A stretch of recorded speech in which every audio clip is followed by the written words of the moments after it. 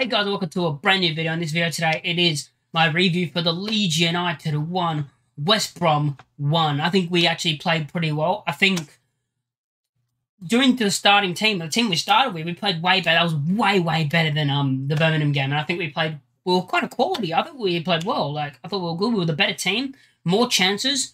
You know, I thought the first half, you know, you had the Shackleton chance, which I thought was going in the back of the net. The deflection, I hit the post the ball's traveling. I'm like, oh my god, it's in the net. Shackleton scored, and it hits the post. It's the post. And that was unlucky. Um, and then Dan James did well to get a shot off from a Shackleton. Some people are hating on the like saying that Shackleton shouldn't have passed where he did, but he did, and he got the ball straight to um Dan James. Well, Gelhardt, which went into Dan James, who had a good shot and it was a good save. Um, that was a good first half and a couple of chances. We looked the more dangerous team and a team more likely to actually score in the game against West Brom. Um, and that's when the second half started.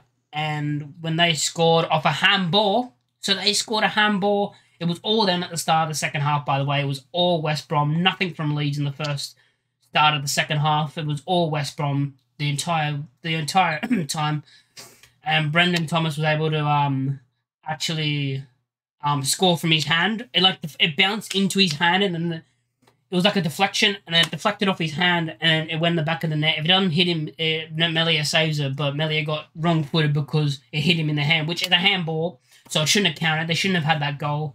What happened after that? We got Dan James's absolute screamer, which nine times out of ten that goes in unless you're Leeds United. I feel like we've had so many of those where it's a, everyone says, "Oh, another day that goes in." We've had so many of those. Dan James hits it so perfectly, and it's a great save over the bar from um, Alex Palmer, who was actually the man of the match, who got given the man of the match. So, yeah, he had a really good performance. So did Meslier. Meslier had that really good save. I can't remember who took the shot, and he, he palmed it straight onto the post. It was beautiful, like before their goal. It was a great save, and I can't believe that he actually saved that.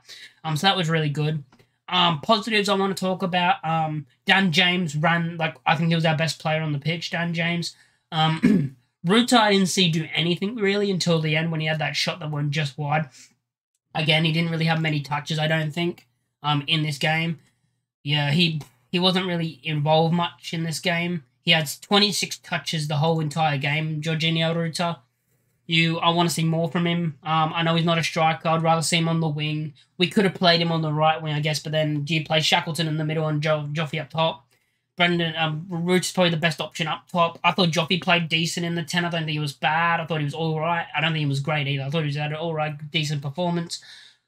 Uh, Joe Rodon. Oh, we got a player on our hands, don't we? Joe Rodon. There was a couple of times he beat one or two players. There was one moment where he beat like four of them and, you know, went through. Like, he, he looks like the real deal on the ball as a centre back. I think he had a really good game. Luke Ayling, who got the goal with the Dan James assist in the second half when we scored. Um, we finally got the the equalizer. Dan James with an unbelievable whip over the top. Um, Ayling comes sprinting through, bang, header goal, and we're one one, and we're we're level to score. Um, great assist from Dan James, who honestly could have had about two or three assists with two or three goals. Um, he had two shots on target, Dan James, and I thought he was probably our best uh, best player. He had that chance that he should have scored, which was right in front of all he had to do was hit the target and it went wide. That's the thing with Dan James. You get either a great opportunity where he does something amazing, and then he does something like that in front of the goal and misses the target. Um, yeah, I thought he was probably our best player on the pitch. He ran that. He ran the um. He ran the wing basically on the left the left wing.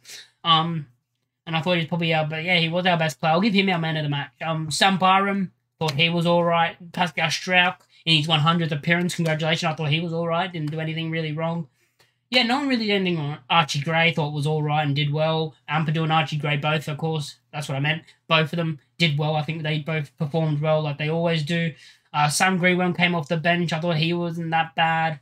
He didn't really do much. He had that. Um, he straight away came on and had a free kick, which he put a lovely whip in, which could have, you know, it was put in a dangerous area.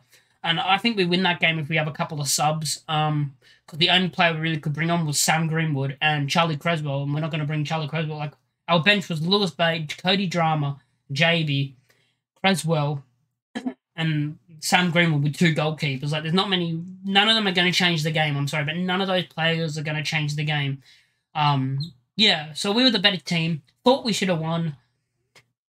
It is a handball, so it shouldn't be a goal, but it is the championship, so you can't really, you know, blame. I mean, you can blame the rest for not saying it, but it's just unlucky. I do think that you know, and then towards the end of the game, they had a couple of scares, scary getting towards the end because it was all West Brom. We had that moment after we scored, we almost scored again, and then we were all over them, and all of a sudden they just came back on us again after we scored. Um, after after sorry, after we had their chances and started playing well, they just came back at the end with the final like five minutes of the game, and that was all them. But overall, solid performance, good performance, better than Birmingham, way better than Birmingham. If we play like this against Birmingham, we win the game. Um, good performance by the team, good performance by individuals. We still need some we need some signings now. Um, signings may help this, you know, help the week. Like we got a draw in a game where everyone thought we are going to get absolutely smashed, and then, and then we bring some signings in.